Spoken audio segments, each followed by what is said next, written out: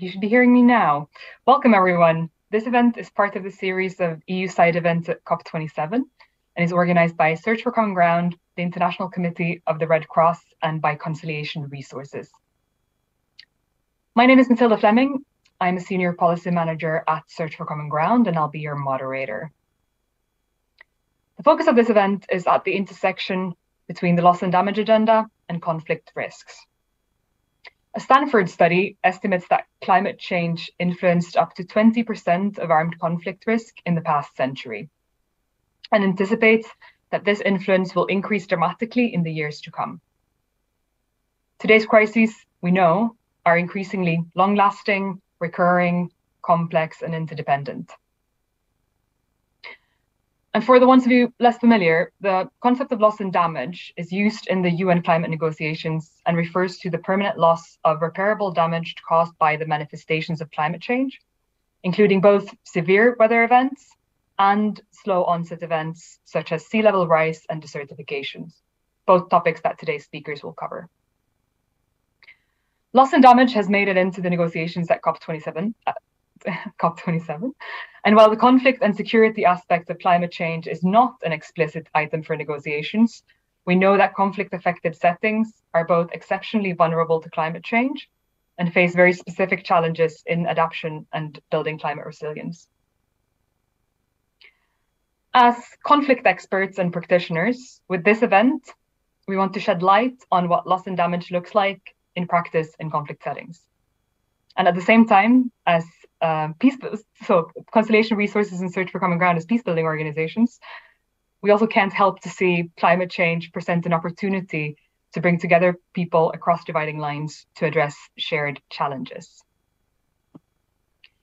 We have three brilliant speakers with us today. We have Namita Khatri, who's a diplomatic advisor at the International Committee of the Red Cross, where she, among other things, leads on climate finance policy. And before joining the ICRC, she was a Fijian diplomat for 15 years. We have Dr. Kate Higgins, who's a policy and learning manager at Conciliation Resources, where she supports peacebuilding capacities uh, across the Pacific. We also have Perry Tukuwe, who's a project program coordinator at Search for Common Ground in Nigeria. He's a doctoral research fellow and a peacebuilding practitioner with a current focus on the upcoming elections in Nigeria.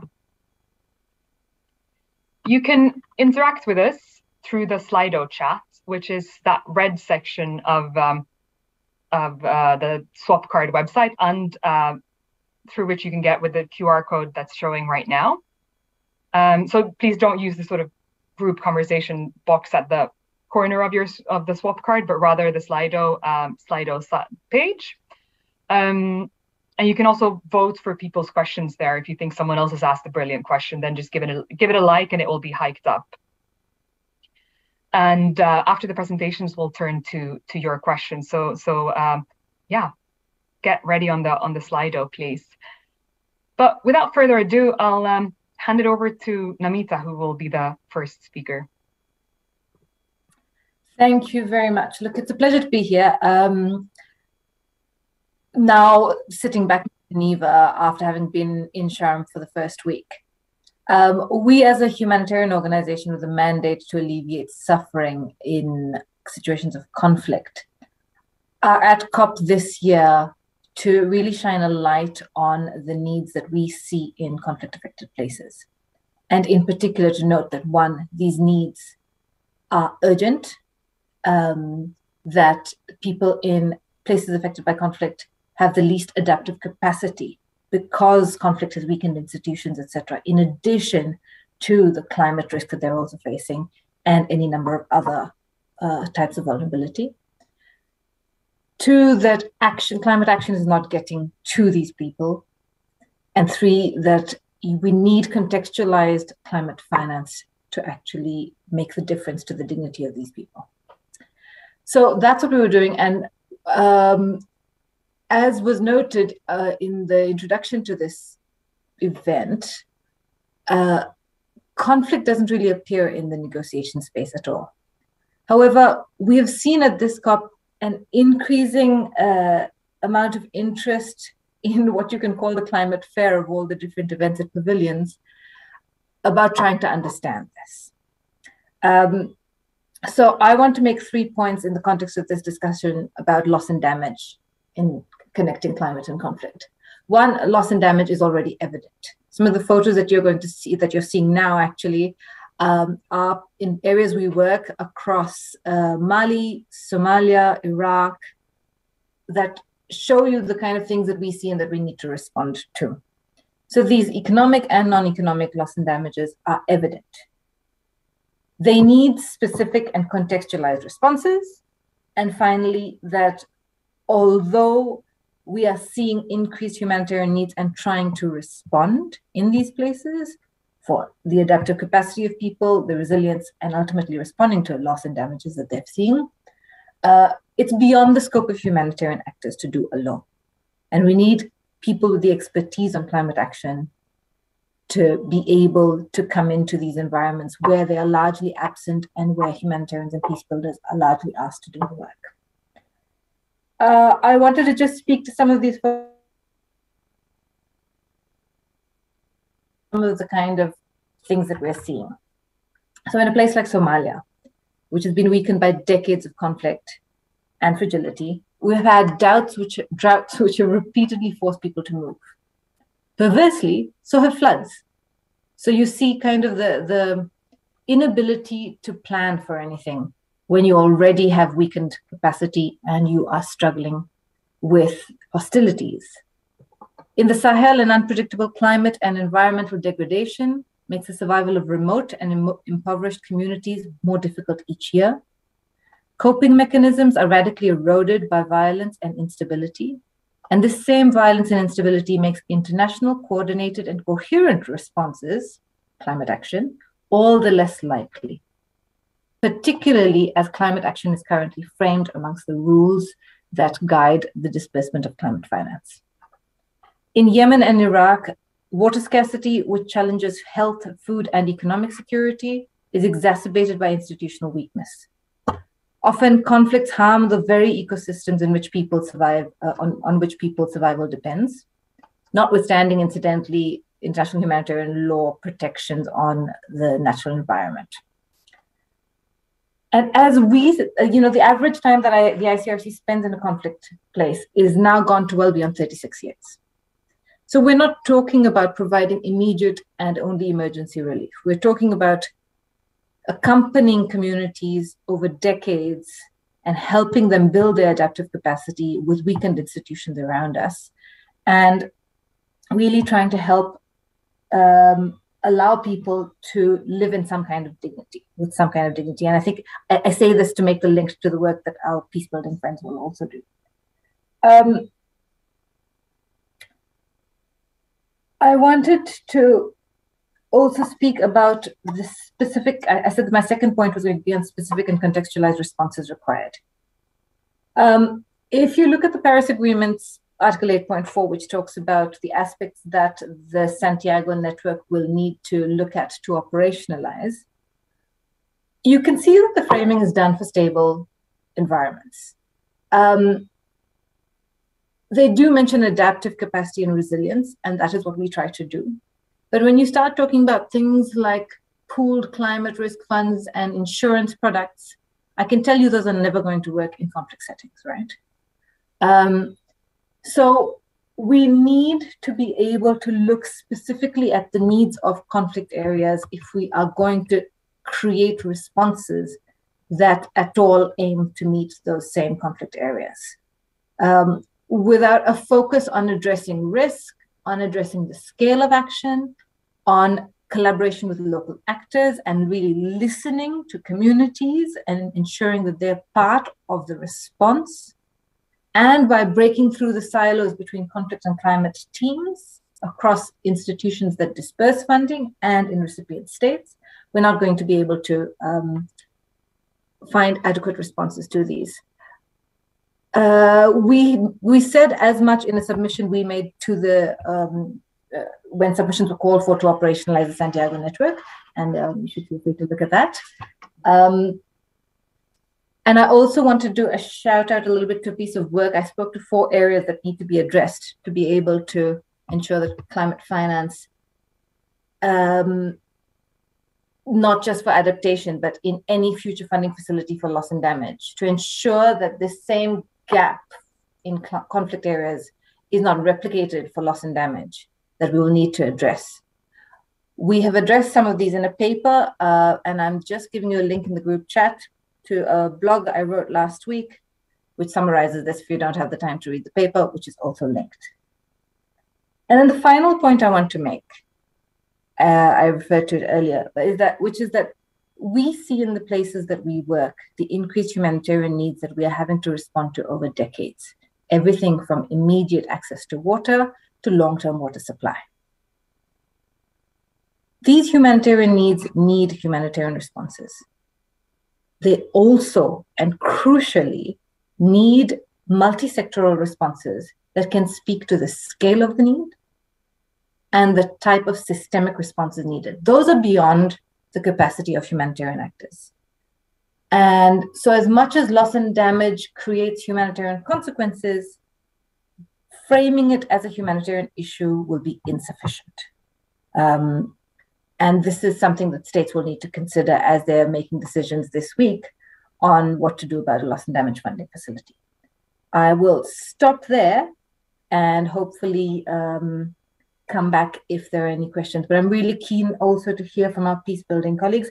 Just one one last point. Um, sorry, is to say that there was a, a question uh, in the concept note, which about how we would tackle damage and mitigate conflict risks in communities. As a humanitarian, our job is to keep responding to the needs we see on the ground. Um, and we feel that the more we can help people live with dignity, the more secure they feel. It won't solve the problem, but I think we need to build better bridges between the work we do, the work peace building actors can do, and together to build bridges with the development and climate communities, which will be better able to give sort of the, um, the adaptive response needed. I'll stop there. Thank you. Thanks a lot. Um, and just to for the audience, the the paper that um, Namita was referring to is called "Who Gets What: How to Get Climate Finance Working for the People Who Need It Most." Um, so thanks for sharing that and for your very clear call out for a, a, holistic response. I think it also begs the question of, of, you know, what's standing in the way for that holistic response and, and how do we get that? How does that really get get off the ground? But before we get there, I want to hand it over to to Kate Higgins from um, Conciliation Resources. Go ahead. Um, yes, thanks very much for having me. And um, it's really interesting to hear Namita's um, really wonderful presentation because I think I have very similar points to make, um, particularly around climate action not getting to who needs it and not repeating those mistakes with uh, with uh, loss and damage financing. Um, and this is drawing upon some of the lessons that we're seeing from communities who are facing the impacts of climate change in the places where we're working. Um, so, yeah, so I work for Conciliation Resources, which is an international peace building organisation. And we've been working in the uh, Pacific region for the last 25 years, working on sort of fairly traditional um, peace and conflict, peace process issues. Um, about a, we work in partnership with a range of community leaders, civil society actors, faith leaders, um, government actors, uh, those who are committed to transforming conflict systems and building peace. It can be a variety of different people, and I don't know my categories really do them justice. And about a decade ago, uh, we started having these conversations. We're seeing climate change impacts all around us. What do we do as peace builders? And that's how we have come to start this work. So, about three years ago, we began a climate change and conflict program that works in different geographies, noting that the Pacific region is incredibly diverse and the issues look very differently in, in different uh, areas. Um, today, I'll draw upon uh, a few, I guess, small stories from uh, some work we have, was probably our most advanced work, which is in communities facing um, loss and damage in terms of the loss of their communities, the loss of their land, um, and really, really complex dislocation issues. But before I do that, to even start working on this climate change and peace building nexus, we started by developing a little bit of a, a framework to try and it's an imperfect framework um, to try and understand the conflict risks a little bit better and to try and delve into this complexity. And I thought it might be good to give a little bit of an overview first. Next slide, please. So the first one is um, around, um, you know, we all hear about climate change as a, a as a threat multiplier um, to land and resource conflict. And this is really important in terms of what I will get to in, in a moment about how do we actually work with communities on this, because it's really important to remind ourselves of those of us who work in the Pacific, it's easy, even easy to forget that the majority of land and resources are communally held um, and underpinned by very complex land tenure arrangements that differ from place to place. So, working on issues of land and dislocation is going to be complex and different in every place. And so, the last presentation around actually needing to have climate finance that is contextualized is, is really, really, really important for, for dealing with these issues. Um, second slide, next slide. Um, so dislocation, and this is really what we've been working on um, in terms of entire villages needing to relocate because of um, sea level rise and also, I guess, resource scar- scarcity, but also, and even more probably prominent, is people choosing it's too hard to rebuild after extreme weather events um, and the increase of urbanization, urban insecurity, and people not finding places in urban centres, but uh, settling in very climate vulnerable urban informal settlements. Uh, maybe the next one slide, please. Uh, violent conflict has been emerging in several places after extreme weather events. Um, and this is um, only going to set to increase. Um, also, it's really interesting when in every place we've worked, we've had both COVID, but also extreme weather events in every every location where we've worked in the last few years. And sometimes we we really need the humanitarian actors because some days we find that we are humanitarian actors on a given day and we're really not really sure what to do and a lot of what we do is mediate between all the sort of um, sometimes chaotic responses that are going on and the inappropriate responses that are going on. And so that's one of the, the roles we find ourselves, or when I say we, us and our partners find ourselves in. Um, next slide, please. This is a, a, really tricky one to talk about. Um, and it's really, you know, the state and, and Pacific Island governments and governments around the world are the assumed kind of key actor responsible for dealing with um, but you know, with climate change impacts, but often there can be tensions between communities and state institutions, as well as um, real um, resource and capacity issues on on the part of of governments. So you know, real real um, real real challenges in terms of in terms of that governance. And next slide, please. And this is what I really want to talk about, which is climate change intervention itself as a conflict driver. And we only have to learn the lessons from some development intervention where you have solar panels or seawalls or um, mangroves uh, that have not been able to be planted because they haven't haven't been implement projects haven't been implemented properly and so we we can't have this happen with climate finance in whatever form that takes so um if we just next slide please yeah so some of the key issues that commonalities between places where our partners have been working. Um, uh, uh, firstly, uh, you know, extreme weather events being one of them. Um, but what we've found is that there has been, there isn't a lack of resources given to the communities that we've that our partners have been working in prior to working with our partners. There hasn't been a lack of projects or finances or funding but it hasn't actually been able to have the impact that the communities would like. And what they have really been struggling with is consultation, or whatever this term consultation means.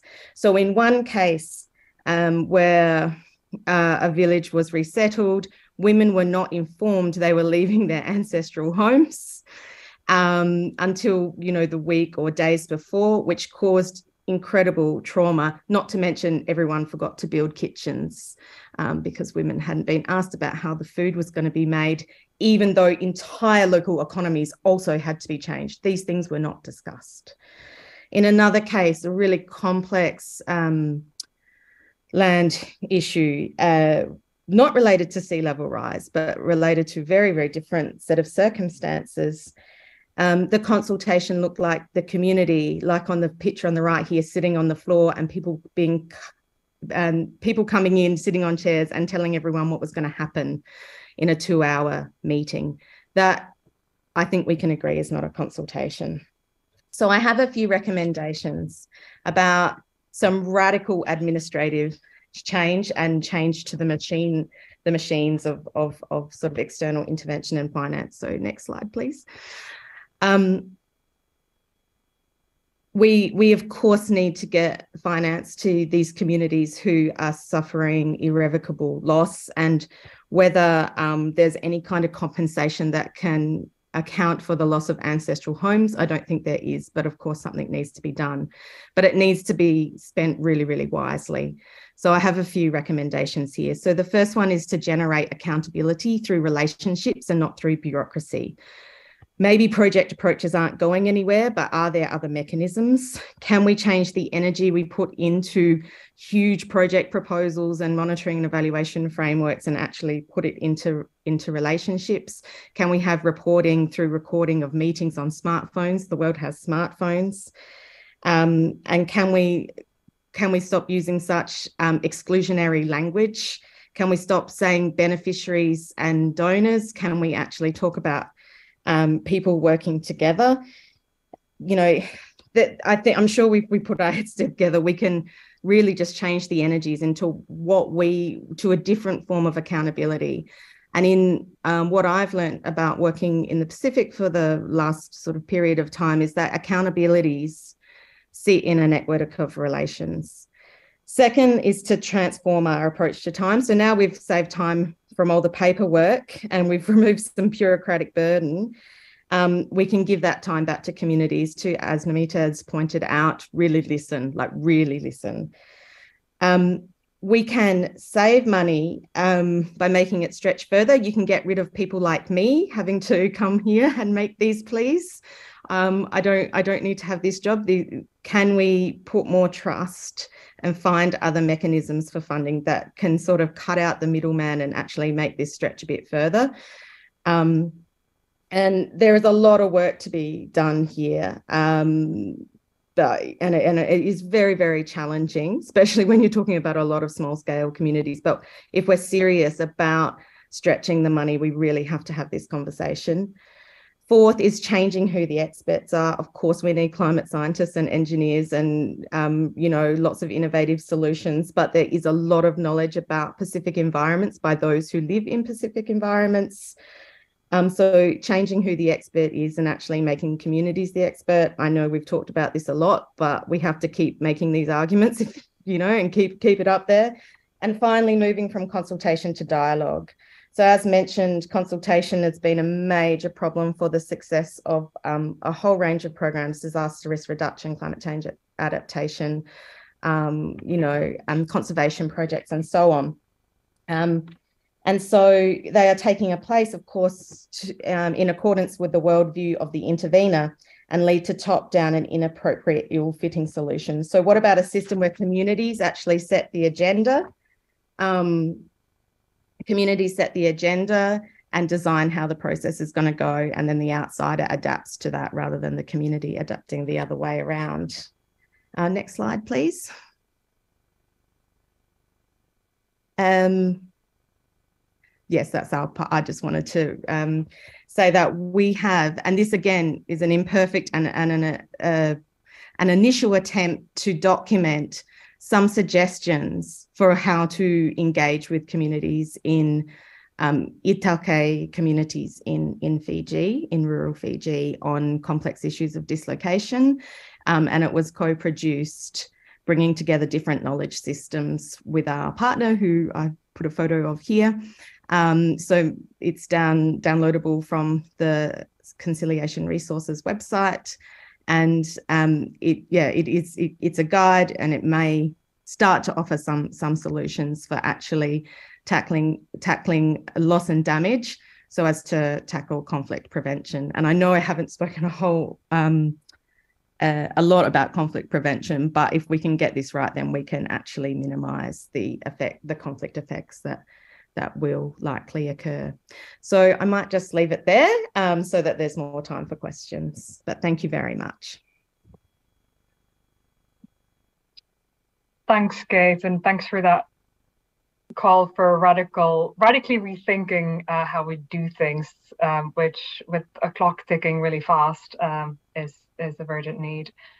Um, I'm also seeing some questions come in on the Slido, so just uh, um, uh, yeah, warmly welcoming all questions that that the audience might might have. Um, just jot them on Slido. The QR code is there on your screen. Now over to our last speaker, Perry. Please go ahead. I'll from uh, what said. My to say that the community um, should set um, the agenda we can't really hear you, Perry. Um, I think there's some sound issue. Can you hear me now? I don't think it's better. I'm wondering if it was better before without your headset, but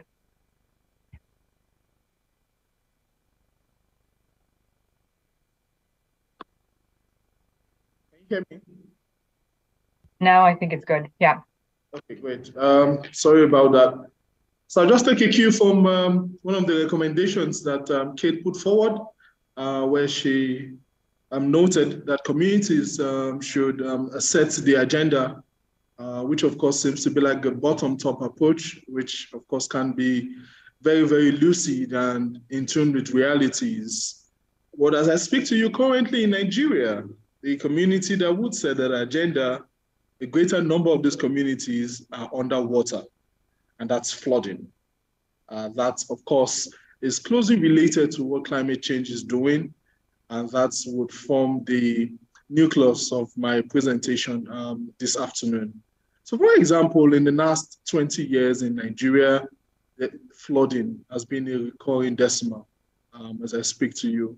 Uh, while the government has paid lip service to this, this, of course, has been like a cog in the wheel of progress um, in driving the development trajectory um, in Nigeria. In the last three months, um, it got to a climax where we had over 33 states with over 500 communities, you know, flooded um, as I speak to you um, right now. Uh, while there might be um, humanitarian efforts, you know, going on at the moment, um, it's just like a dip in the ocean.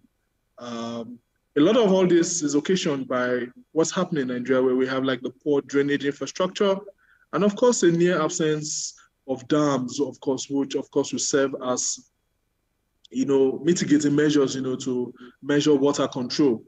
And right now, the cause of what's happening in Nigeria right now is the fact that we have an overflow from the Lagdo Dam, you know, in neighboring Cameroon that has pushed to the countries.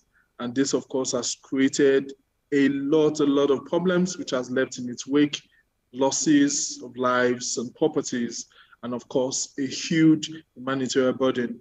If we look at data, for example, from uh, the Federal Ministry of Humanitarian Affairs, you would see that um, over 480 homes are partially damaged. You know, livestock, livelihoods, you know, right now are, are gone with the water.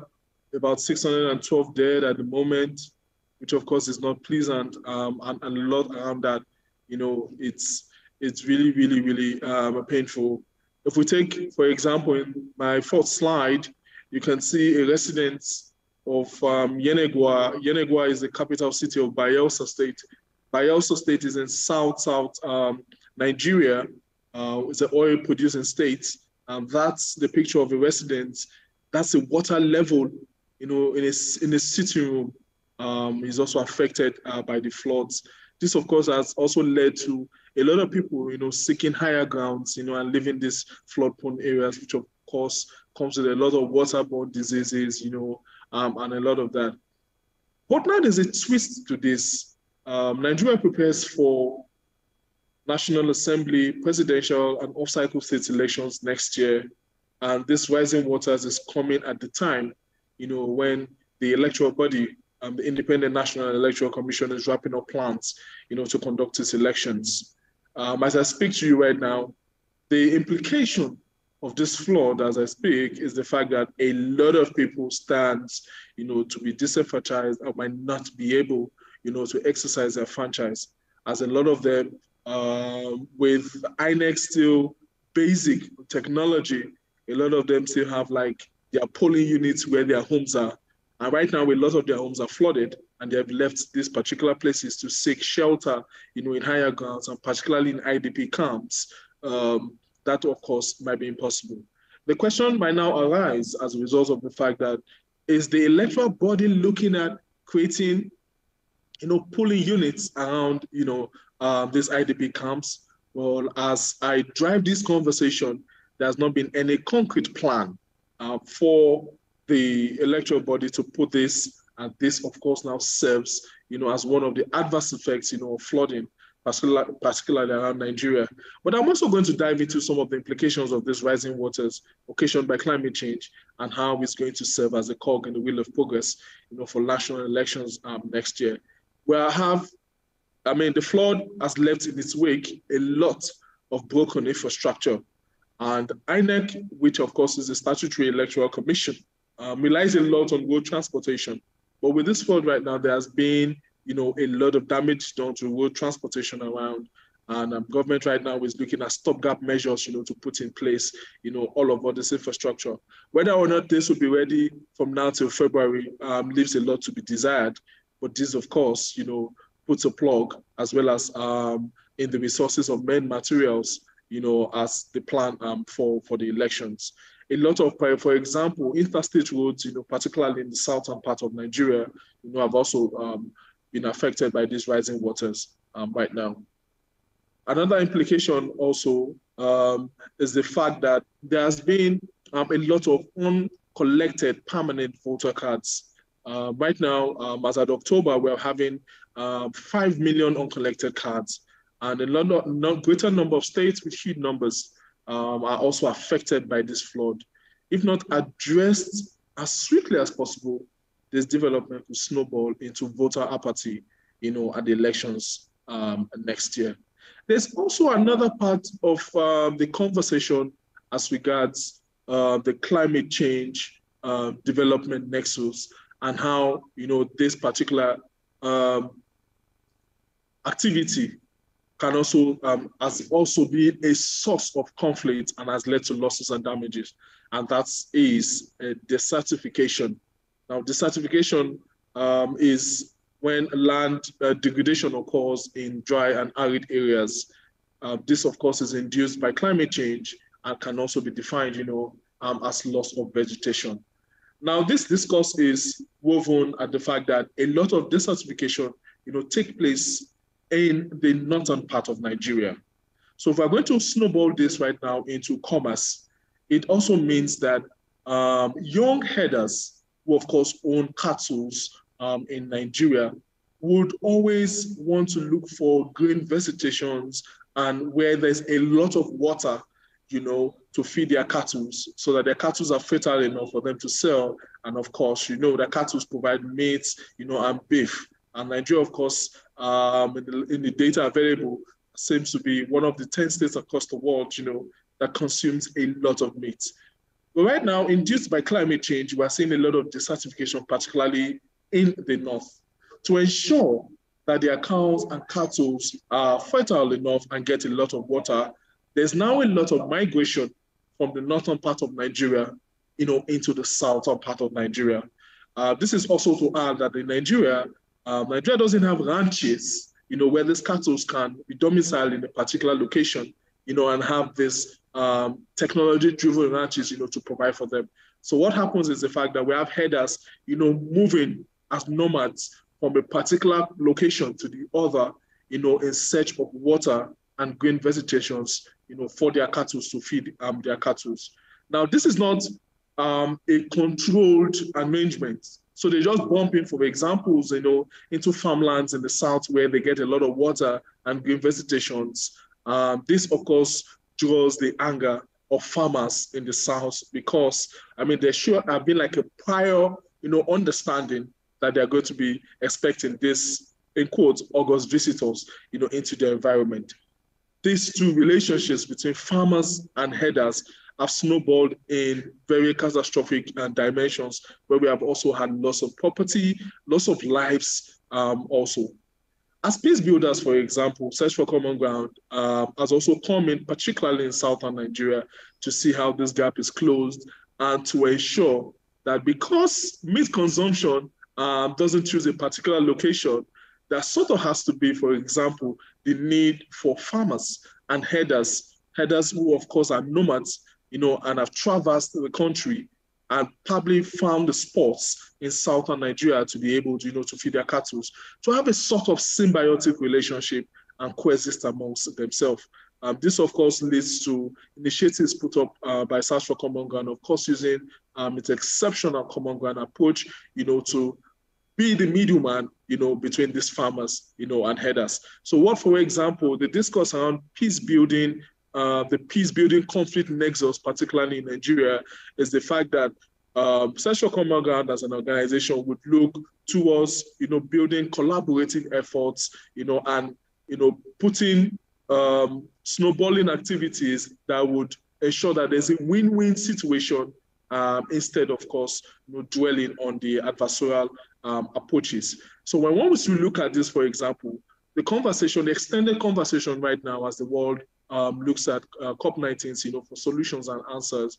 Um, the former two speakers, the previous two speakers have spoke about is the fact that there's of course a need for um, climate finance also particularly. Uh, there's a conversation, for example, that the South bears the brunt of a lot of um, adverse effects of climate change, you know, greenhouse emissions, you know, and a lot of that. But as peace building organizations also support governments, you know, in their activities, there's also now, as a part of recommendation, the need, or, the need for a lot of climate governance, you know, systems set up to ensure that you know the relationship, particularly uh, between the north and the south, is actually very strengthened, and also to ensure that at this time, even with the adverse effects of climate change, every side wins. Thank you. Great, thank you for that, Barry. Um, I see some exciting questions popping up in, in the Slido, and I think we'll we'll turn there now. Um, maybe first of all to Namita, how yeah, how do we make this cross-sectorial holistic response work? What needs to change? And then there was also a question about whether there are specific actors that you see do this in a in a good or if you have examples of, of this working well um yeah that that would be the question uh, for you thank you so thank, thanks very much. Um, we addressed some of these issues in our paper, and I'm not forcing everybody to go and try to read that. I will try to answer it. Um, look, we don't have all the answers, but I think we need to start trying. And how do you make uh, multi-sectoral responses possible? I think that's a question rightly put to, to myself as a representative of a humanitarian organization that's present in, you know, 80 countries, etc., and yourselves as peace, peace builders working in communities at very local levels as well.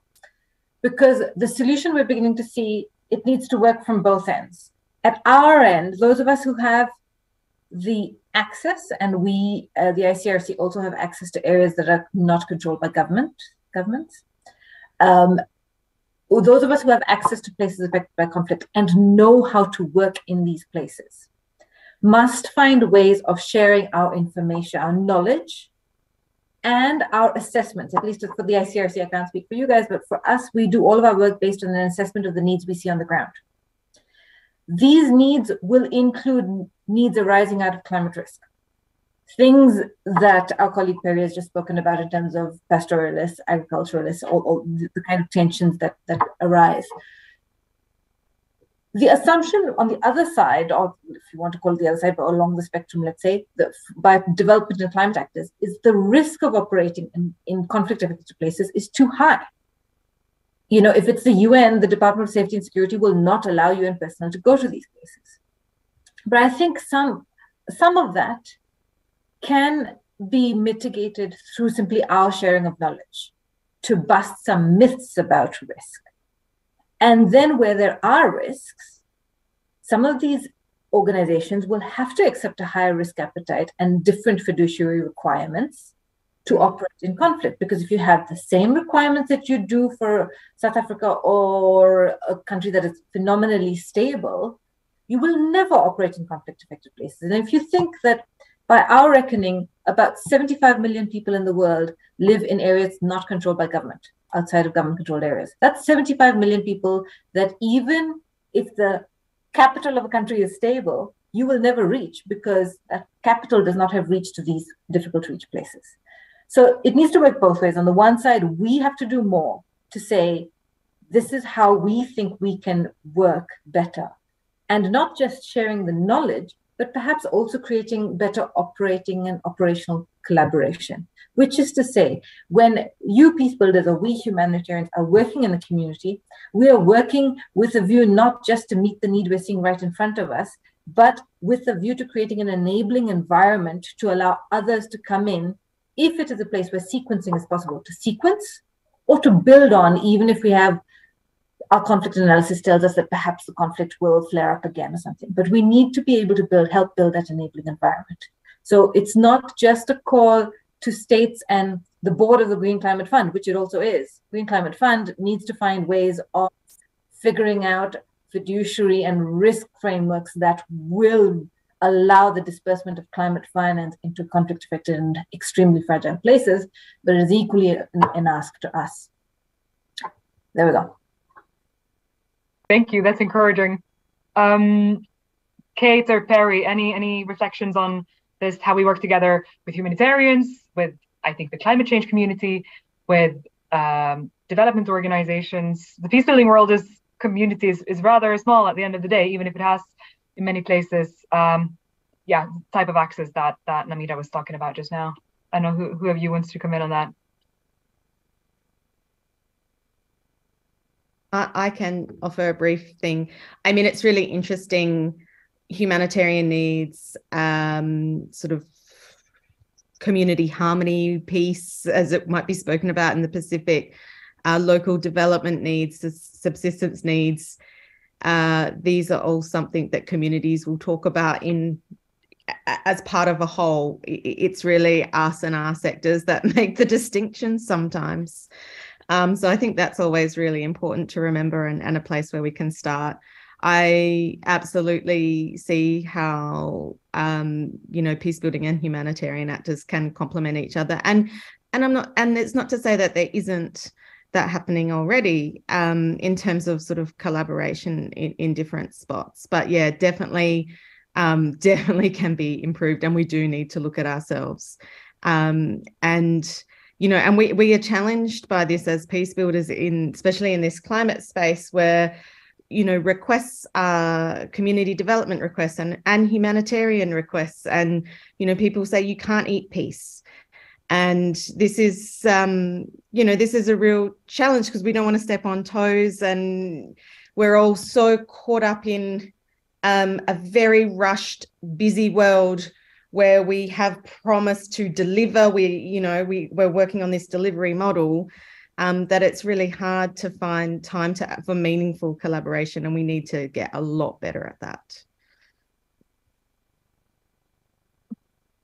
thanks Perry, any any thoughts on that collaboration? Obviously, there is a lot of sort of HDP Nexus work going on. I'm thinking the additional layer of um, of collaboration also with um, environmental actors, um, climate investors, that type of, of, of thing.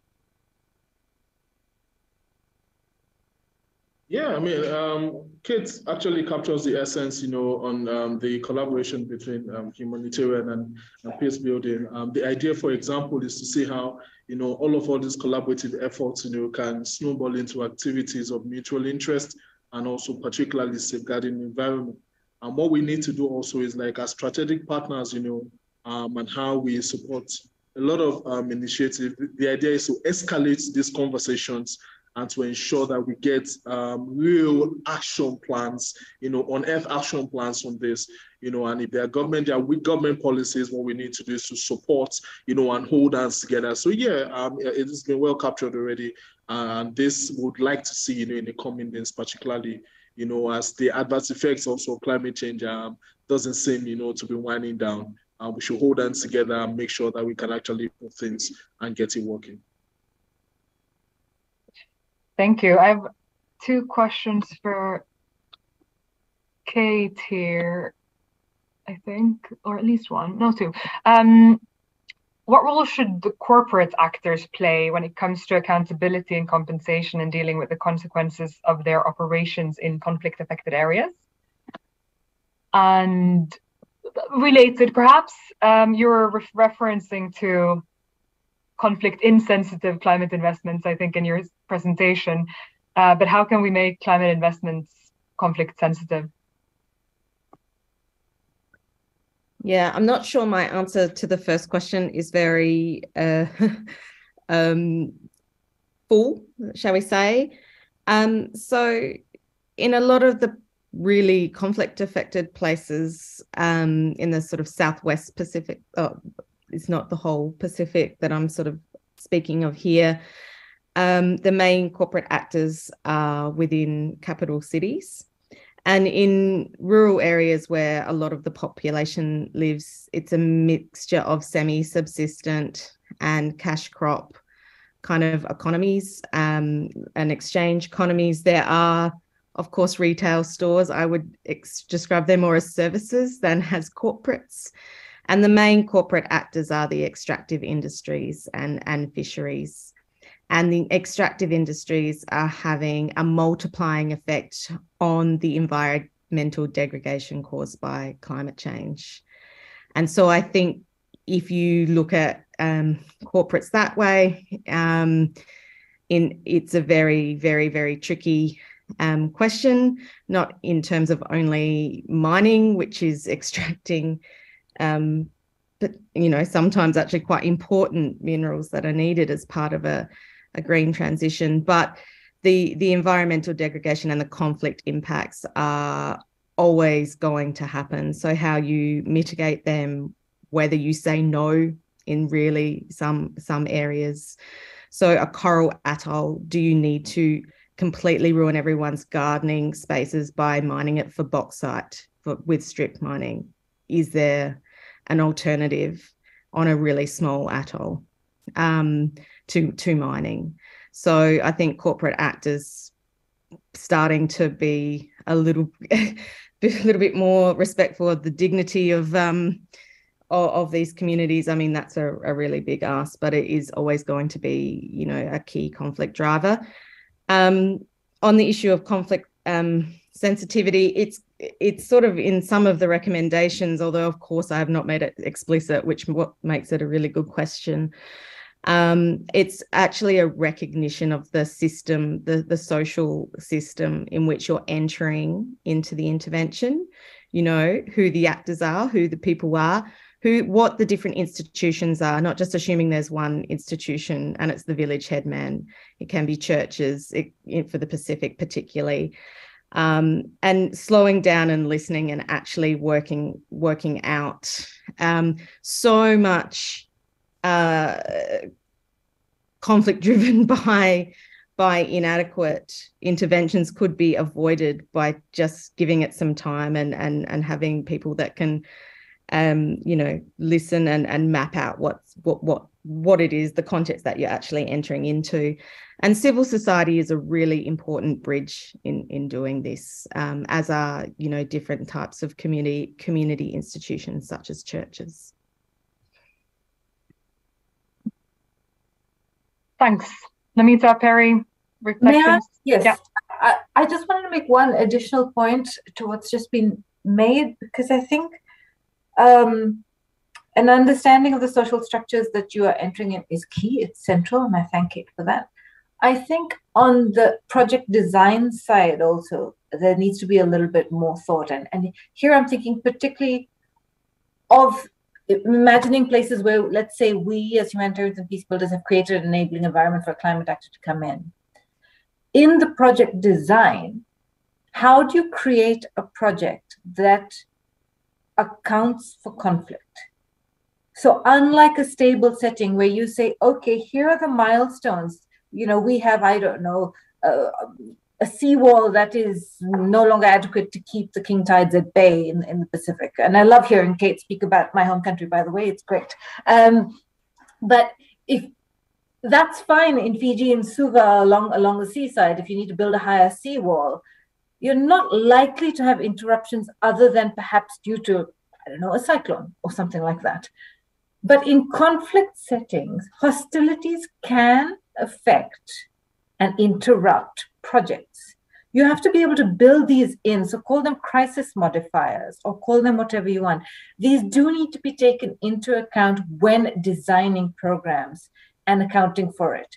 And often for the big actors who are allocating finance to support action in certain places, you have, they're dispersing millions and millions of dollars. But in the kind of situations that we find ourselves, you're doing community action. Now, I'm not saying that in Mali, you don't need a whole Mali wide action, which is a billion dollar project, but you may also need something in the communities affected by Lake Magibine or Faguibine, which is now disappearing. So, for that scale and for a project in as unstable places as that, you also need to administer it differently. So, rather than having one person responsible for 10 $3 million projects, you might actually need just one person following just this one program because it's going to need more regular daily support. Because otherwise, it's very easy to prioritize the bigger ones in stable settings and say, well, that project just failed. Yeah. I'll stop there. Thank you. Terry, any thoughts on on on um, the role of corporates or um, on conflict conflict sensitive climate investments?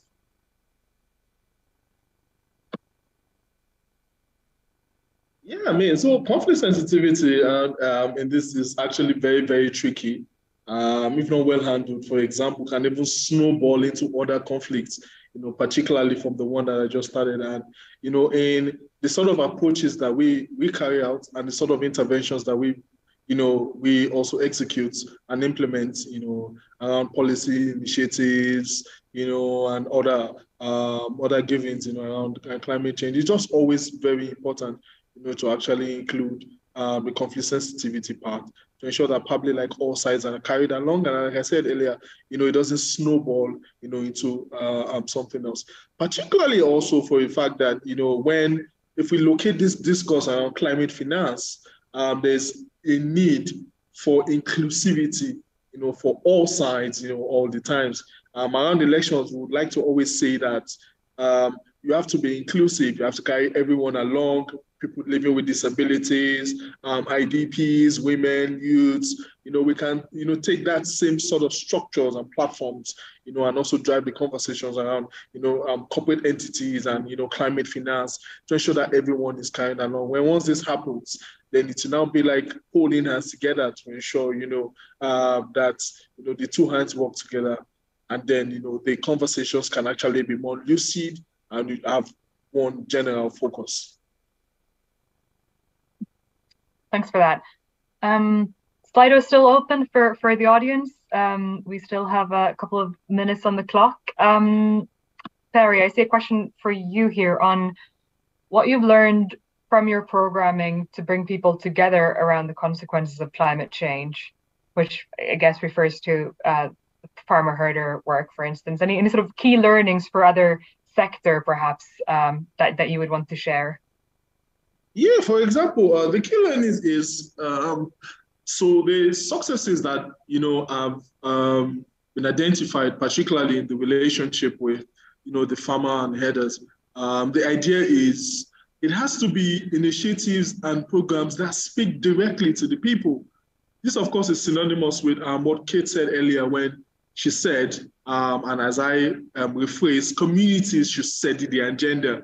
So we had, for example, for the, the idea around the success of the farmer herder relationship, you know, around their pastoralism and climate change is the fact that there are levels of interventions and there are also levels by which, you know, these stakeholders have come together, you know, and present a united force. So for example, It starts with um, local initiatives for um, at the local level with the communities, which is sort of like the base, you know, called uh, this community security architecture dialogue.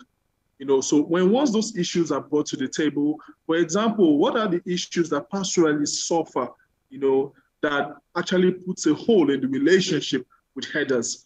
The two parts come together in that meeting, they put it out and they drop action plans. The ones that they can handle at that meeting now escalate, you know, to the state level where we now have what we call the peace architectural dialogue. So that dialogue now involves policymakers, um, statutory um, um, civil society stakeholders, you know, governments, ministries, departments, and agencies, who of course will now take a lot of all these recommendations and new learnings, you know, upward into bills, into motions, you know, into policy brief and all of that. So the base and the new learning, for example, is the fact that number one, the community should set the agenda no one should be, for example, you know, up there and setting agendas and models and setting up structures without carrying, you know, the community along. And like I said earlier, also, the second part is the fact that all sides, it has to be as inclusive as possible. The women should be carried along, the youth should be carried along, uh, people living with disabilities should be carried along, you know, and all other, you know, forms of that. When once this is done, then this can actually, you know, go in a long way to particularly knowing what the people want and how to solve the problems in tune with the realities that they face. Thank you. Kate or Namita, any key learnings you want to share in, in the few minutes remaining?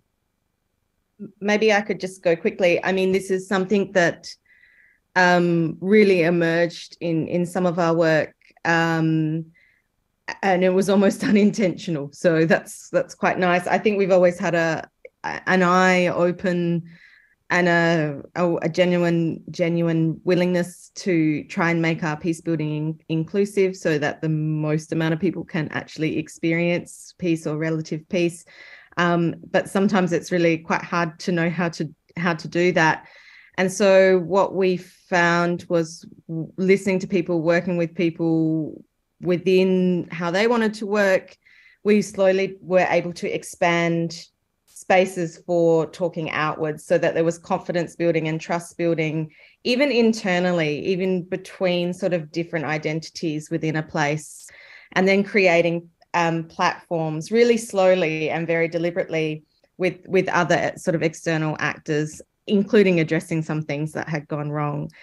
And um, you know, it's not a criticism of governments in in any way at all, um, because the capacity to be able to engage um, with communities in a way where communities are leading and speaking. It took so many meetings to be able to get to that point where the community was sitting on a stage and government was sitting in the audience. And um, so, so I think our work has enabled bringing together people who would normally be criticizing each other or judging each other and um, to talk about the common challenges, which of course are in some ways, you know, a cyclone is kind of apolitical. It is something you can have common ground around. I mean, the actual cyclone itself, not the response and and all the the politics that can occur, of course, but the the actual event itself. Um, and you know i i think that's been one of the the biggest learnings from our work and the importance and i think this is where cr sort of comes in. It's not holding these this knowledge or this technical peace building kind of um you know uh knowledge although we do of course have some of that um it's really around our ability to sort of as an international and i wish the world wasn't structured this way but it is to sort of create spaces that can bring all these different people together and that's what we really intend to do around climate change going forward. Thank you for that. Um, i think it's time to wrap up. I've uh, i've heard a lot of convergence around project design needing to take conflict into account around financing modalities needing to take conflict into account, fiduciary requirements, um, risk management, that type of thing. And this thing about just because it's hard and risky doesn't mean it's not needed and it can't be done. It's just harder and potentially a bit riskier, but how do we manage that risk? So with those words, I'd like to thank my panelists very, very much. Thanks everyone for listening in and uh, hope you have a good rest of your day. Bye-bye.